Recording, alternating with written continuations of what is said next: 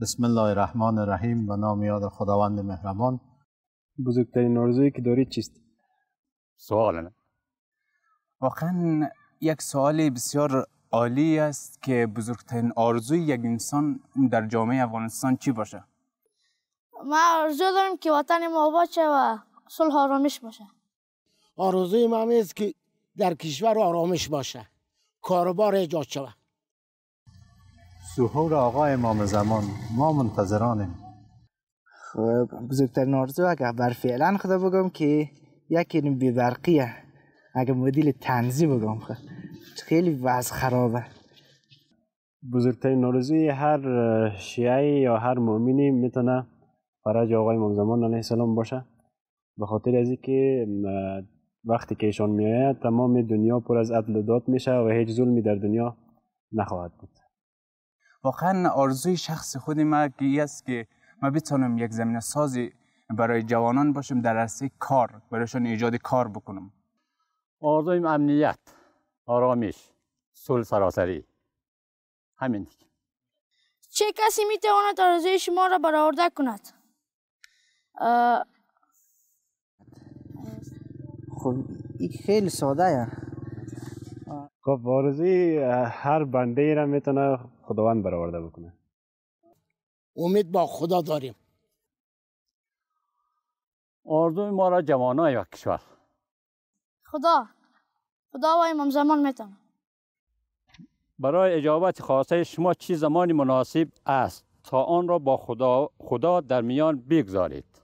واقعا سوال بسیار عالیه. شب هنگام ساعت دوازده بجه یک بجه. همین نماز شب که آدم می‌خوانه اول صبح در نماز بلند میشه با خدا حرفهای با خدا بزنی. یکی سر چاشت. و اول وقت نماز بخوانی درد و نیازش با خدا کنی. این ما شبها در نماز شب یاد می‌کنیم و از خدا می‌خواهیم که ظهور آقا امام زمان بر ما ارزانی کنه و با عزت زندگی کنیم بیدینیم در وقت نماز دعا. از لیلت الرقایب چقدر می‌دانید؟ نیاش آشنا نشدم که رزید جدید کمک. شبی بسیار عالی برای استجابت دعا. پیامبر اکرم صلی الله علیه و آله فرمود. خدای متعال در آسمان هفتم فرشته را قرار داده است. که دایی گفته می شود هنگامی که ماه رجب آمد این فرشته در هر شب این ماه تا صبح می‌گوید خوشا به حال تسبیح کنندگان خدا. خوشا به حال فرمان بردار فرمان برداران خدا. همنشین کسی هستم که با من همنشینی کند. فرمان بردار کسی هستم که فرمان بردارم باشد. و بخشنده خواهان بخشایش هستم. ماه ماه من بنده بنده من و رحمت رحمت من است. هر کسی در این ماه من را بخواند او را اجابت می کنم و هر کس از من بخواهد به او می دهم و هر کس از من هدایت بخواهد او را هدایت می کنم این ما را رشته بین خود و بندگانم قرار دادم که هر کس آن را بگیرد و من می رسد انشاءالله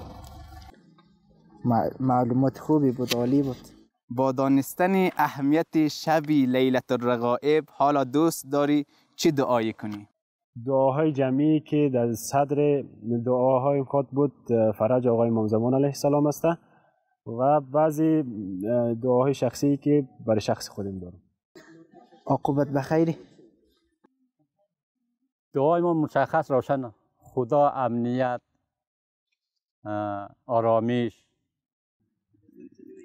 دست دارم دعا کنم که کشور ما در آرامش باشد و صلح امنیت باشد. یک از دعاهایی که در این شب برای محصلین برای جوانان سرزمین همین دعا خواهد بود که صلح امنیت آرامش و یک زمینه کار و اشتغال زایی در این جامعه در جامعه انسانی و اسلامی ما فراهم بشود. این از خداوند عالم ما خواسته و خواهانیم آن شب در کنار آرزوهایت برای امام زمان هم دعا کنید. یک از دعاهای هر شیعه و هر محب اهل بیت اسمت و طهارت تعجیل فرج است. یک پیره بلکه صد پیره امام زمان رو ببینم. ان الله اللهم اجل لولیک الفرج.